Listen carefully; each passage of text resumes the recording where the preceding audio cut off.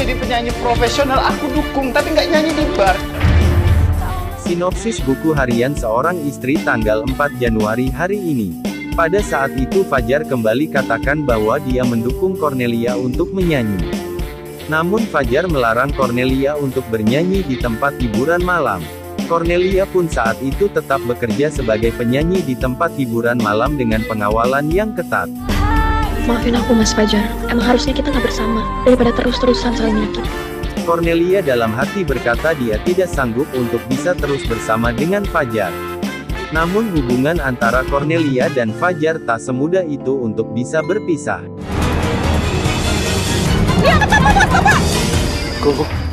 Pada saat Cornelia dan Fajar dalam perjalanan membawa barang-barang kantor untuk dibawa ke rumah Fajar. Tanpa diduga Cornelia mengalami musibah saat mobil tiba-tiba berhenti mendadak.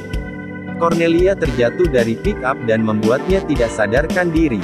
Fajar pun segera membawa Cornelia ke rumah sakit.